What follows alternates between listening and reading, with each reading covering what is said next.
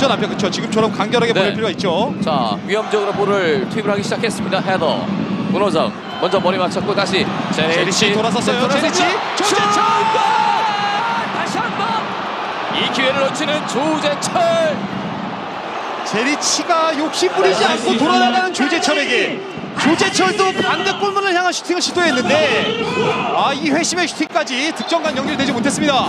안타까운 탄식이 넘쳐나는 창원 축구센터입니다. 이 완벽한 또 한 번의 좋은 기회를 감아서 찾는데 뜨고 말았습니다. 여기서 패스가 기가 막히게 들어왔고 조재철도 반대 골문을 겨냥을 했는데 네. 이게 정확하게 인사이드에는 연결이 되지 못했습니다. 단 한 골. 자, 한 골이 필요한 상황입니다. 자 라인을 내리지 말고 유상철 감독은 라인을 계속해서 위험적을 벗어나오라는 지시를 계속해서 네. 내리고 있어요.